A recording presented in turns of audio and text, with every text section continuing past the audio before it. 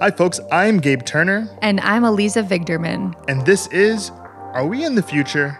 Are We in the Future is a podcast where we watch movies and TV shows with smart home, cybersecurity, or home security elements and answer the important questions about the technology itself. Does this exist today? Can this exist today? Should this exist today? What modern technology would have made this movie last only up through the first act? And of course, are we in the future?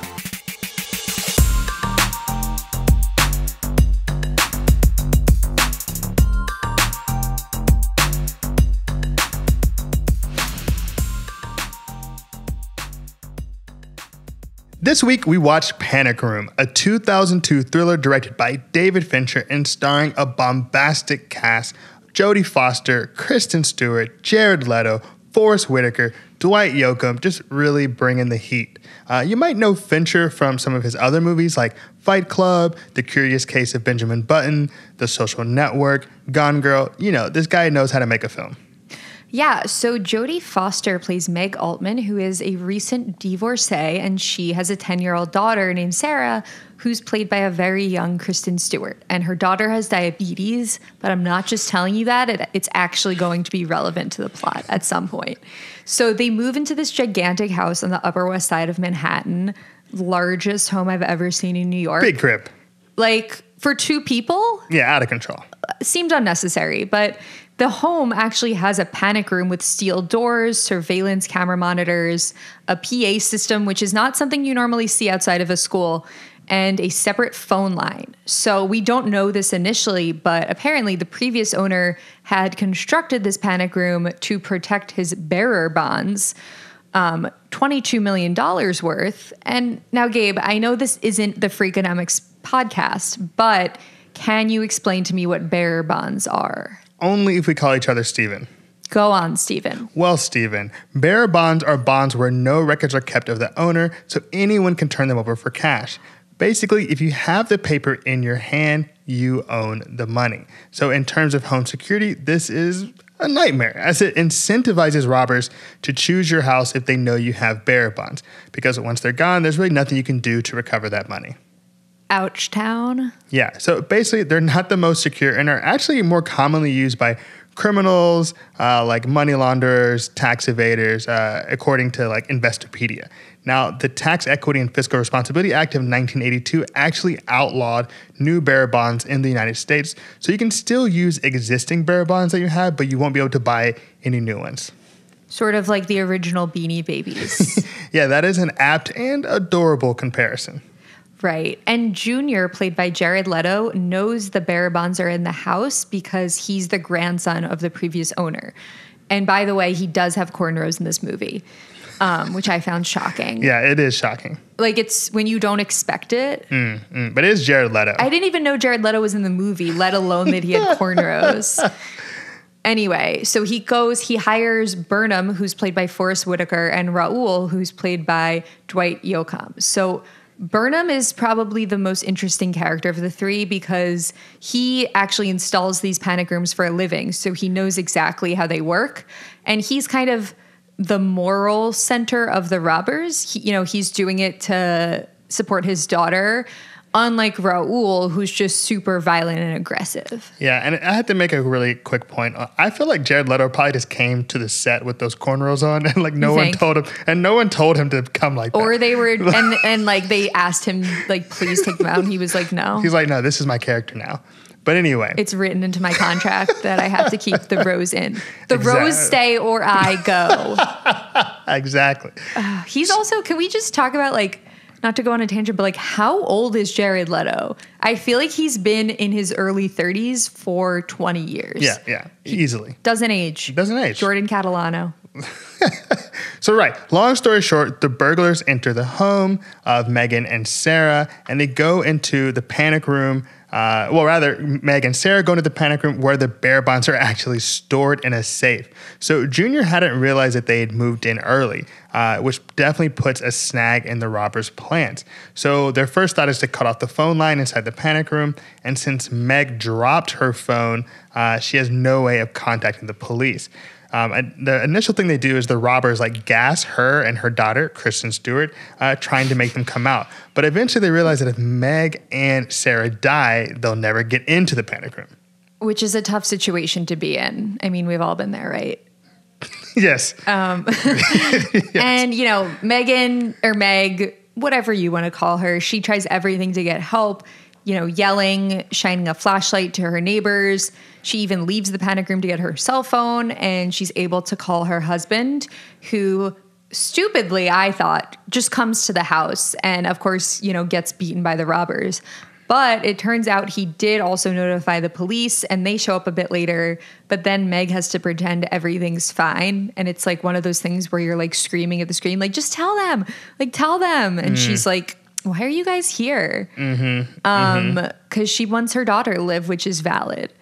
Because they're in at this point, they're in the panic room with her and she needs her insulin shot. So she's depending on Burnham to give it to her. And because he's a decent human at the end of the day, he does give it to her and she does not die, yes. which was very kind of him.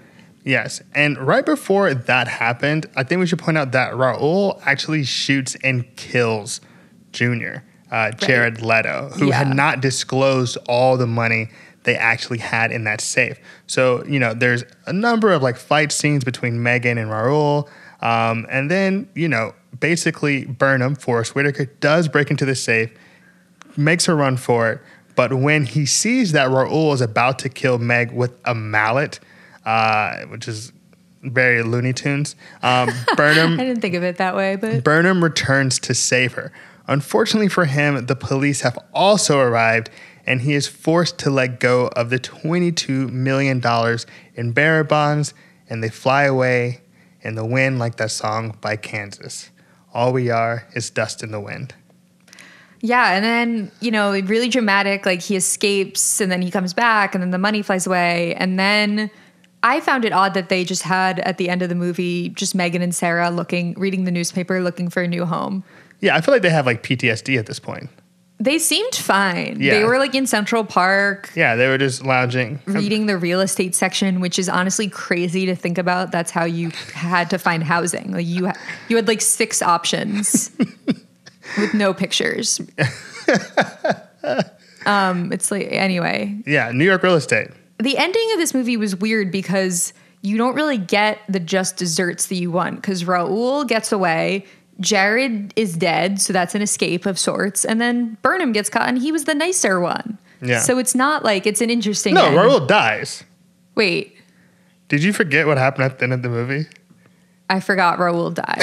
oh, he got he got shot. Yeah. He got shot. okay, so they escape through death, but then Burnham has to go to jail.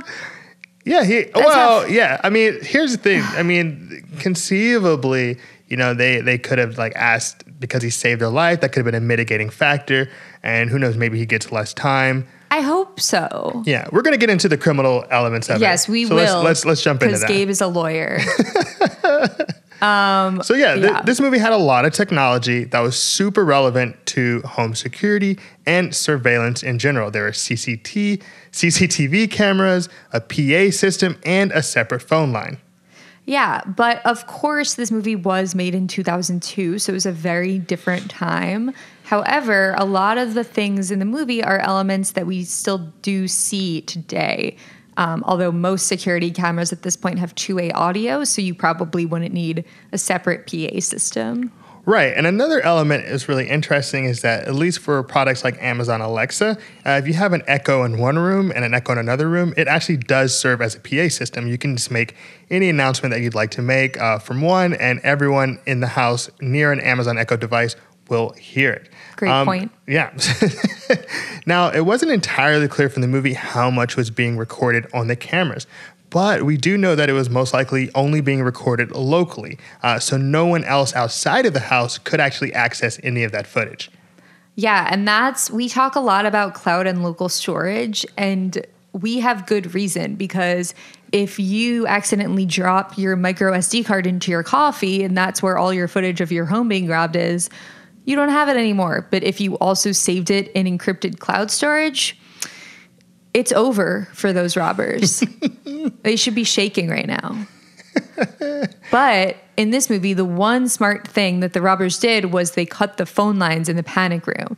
And I was wondering, what are the protections against that in 2019? Because I know we don't have landlines, but can someone just completely cut off access to the police at, at this point? Well, if you have cellular backup, it doesn't matter if the phone lines are cut because you'll be connected directly to your professional monitoring team just through that cellular connection. So they can go in and check your cameras, they can verify if an emergency uh, has taken place, and even call the police for you. Uh, clearly, this would have become really in handy for Meg and Sarah.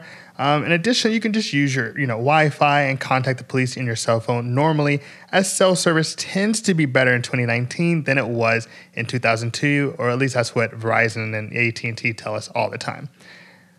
I feel like it must be true because I it was a big part of culture being like, I only have two bars.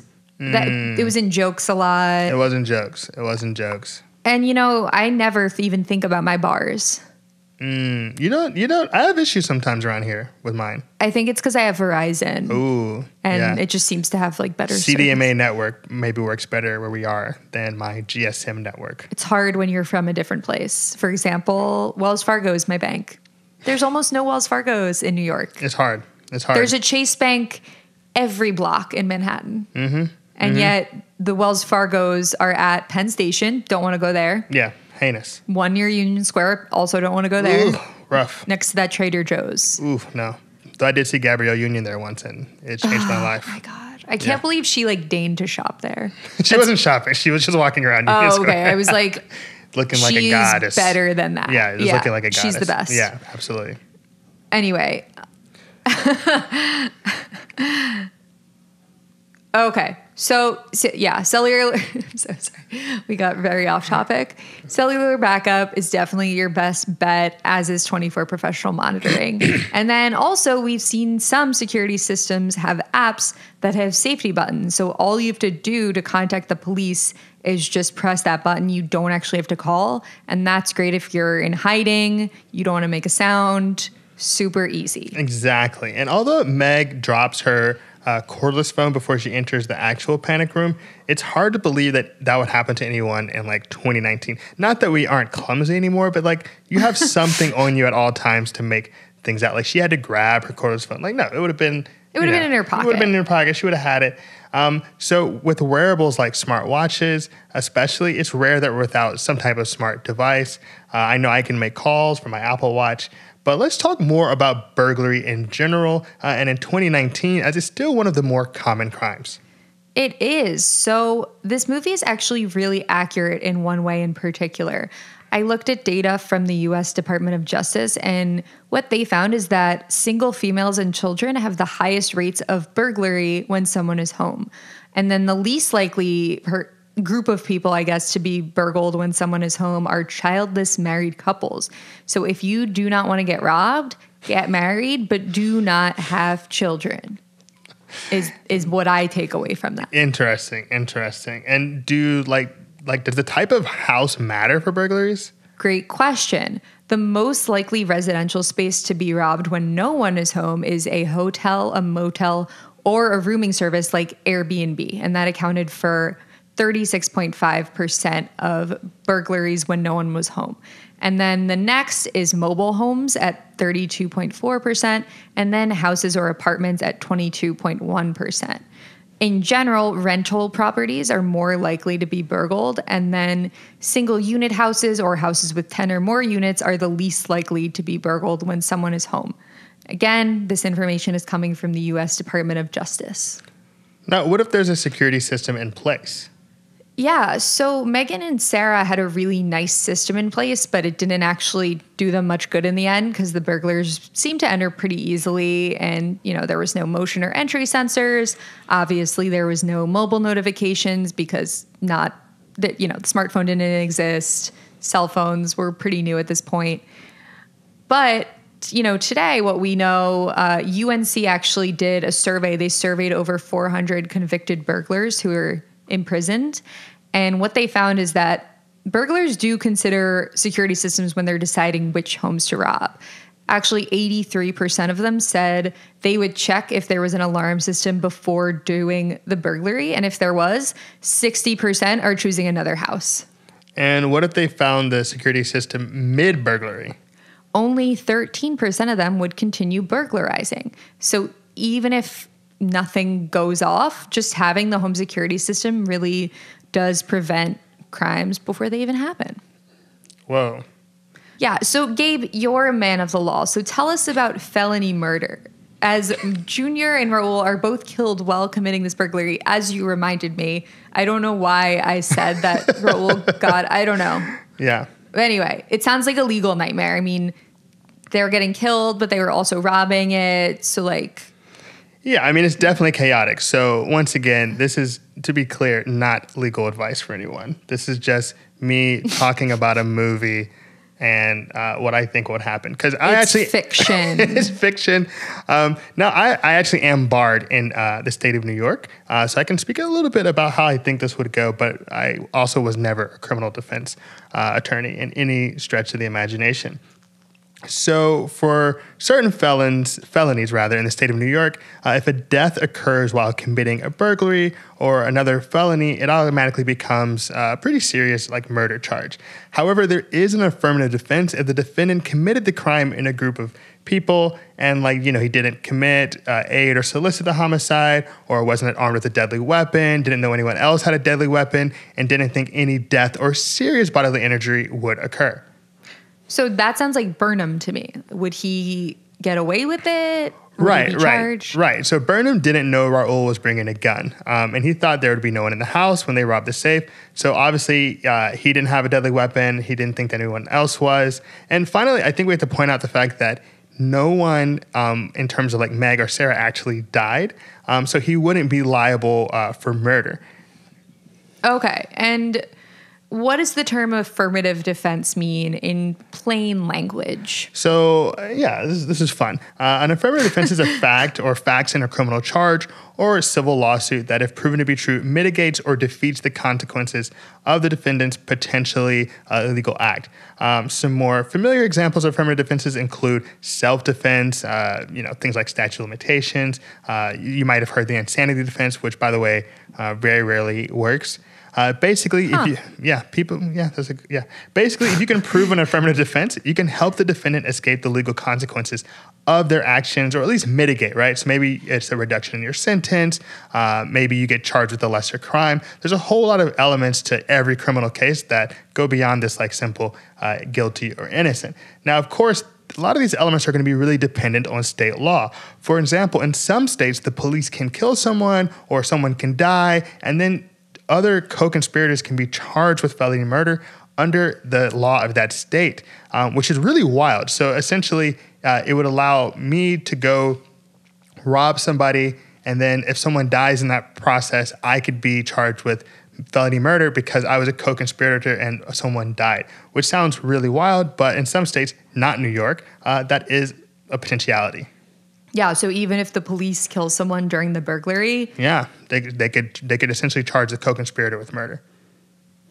wow, the legal gymnastics. That's like Yeah, but that's written into state law. So you know, and and I also should, also point out that um, yes, there are federal crimes. There are a number of them, but millions of cases go through the state law system. Very few ultimately are, are federal uh, cases. So your laws regarding crimes are very specific to where you happen to be in the country. just don't commit crimes, then you don't have to worry about it. Uh, you, you, you think it's that easy, but people commit crimes constantly. Don't even know sometimes. Don't even know. Would you say there's too many regulations? I think regulations and crimes are, are, are different, though some people think regulation is a crime. Ooh, interesting. Hot take. Hot take. I feel like Elle Woods. Legally Blonde's great. Reese Witherspoon has why- given us so much over the years. Why I went to law school. Really? Mm-hmm. you saw yourself in her? I saw myself in blonde Reese Witherspoon. you do have a lot in common. Mm-hmm. So, can we answer the titular question here? Are we in the future? I'd say, compared to this movie and where home security is today, yes, we are in the future. I think if Sarah and Megan had cellular backup and professional monitoring, they would have escaped within the first 10 minutes. And none of, you know, Junior and Raul would still be with us. Not, no way Raul's still, that guy's a, a loose cannon. He, Raul he- was a loose Yeah, cannon. he's he was gonna he he'd made his decision to live by the sword a long time ago. Um, it was interesting. Their psychology. For sure. Um, and I'm going to go with yes as well. Uh, even without a modern home security system, cell phones in general um, have become pretty solid security devices. They're portable, they're Wi Fi connected, and they allow you to communicate with emergency services without making a sound. So, you know, you can't, of course, forget to charge it, um, but generally speaking, we're in the future. Well, there you have it. Thank you for listening, everyone. Thanks.